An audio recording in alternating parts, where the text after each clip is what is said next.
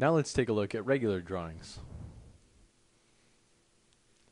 In 2009, oftentimes when you clicked on items in a part, you would get left-click pop-up context menus. However, in drawings, these did not happen.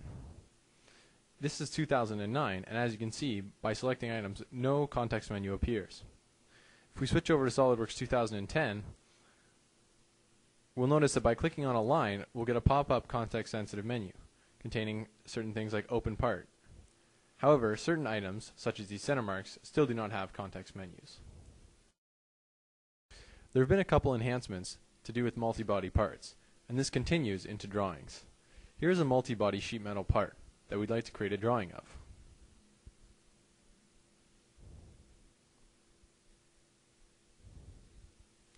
After dragging in a view from the View palette, the Feature Manager opens, and at the top you can see a drop-down menu where you can select configurations. As well, there's a new button called Select Bodies. This allows you to select certain bodies from the part that you would like to include, and that's all that will be included in the drawing view.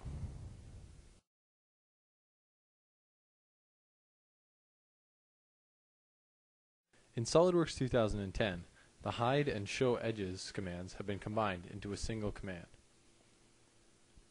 In order to select items to hide or show, it's possible to just click, or you can box select items. However, sometimes box selecting will select items you don't want to select. So if you shift and box select, it will only add items to the hiding. And if you alt and box select, it will only remove items. Any other items contained in there will remain as they were.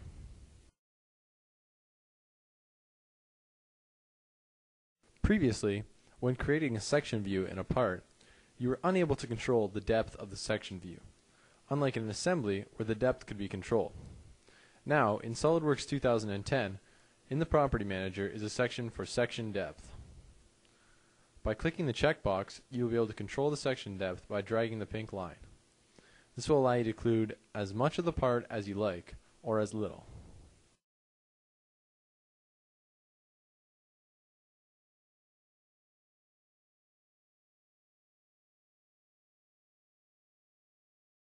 When right-clicking on a part in an assembly drawing, it is now possible to open either the part or the assembly. In the past, it was only possible to open parts from drawings.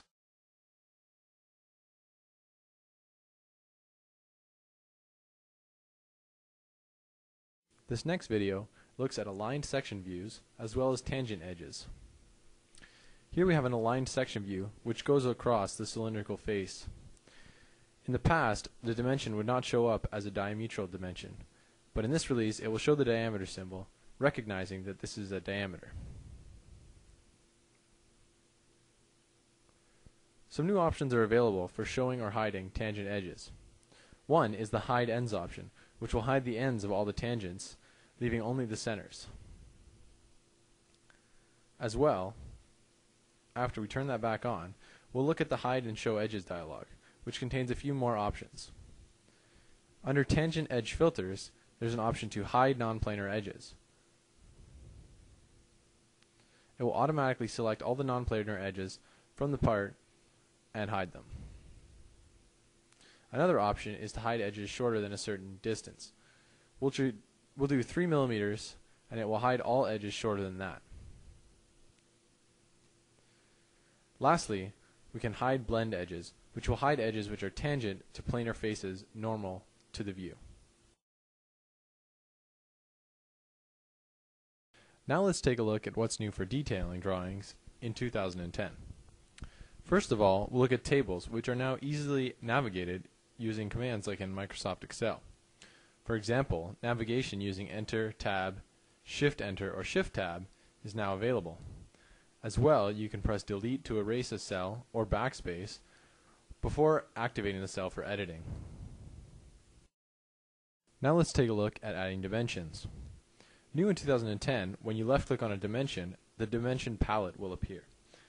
This allows you to control the tolerancing and leaders and other such items for a dimension.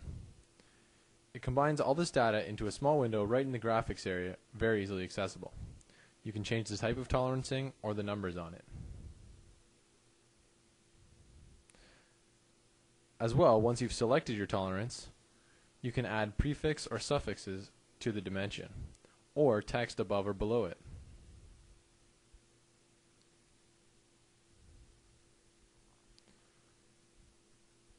Once you have a setup you like, you can also add it to the favorites. The favorites will allow you to have saved, or it will just access the recent ones you've used.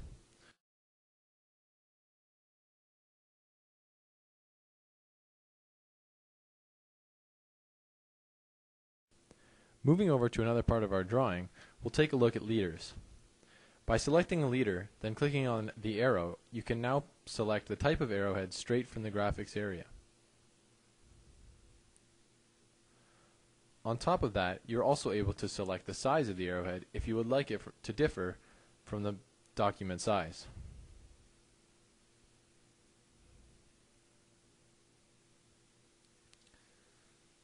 In the past, when adding center marks to a drawing, it was often required to redimension because the center marks and the dimension lines would overlap.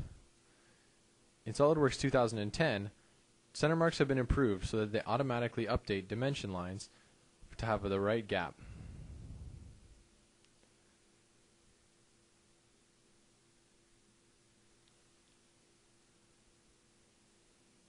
Also, if a dimension is after, added after the center lines, they will automatically be correctly gapped.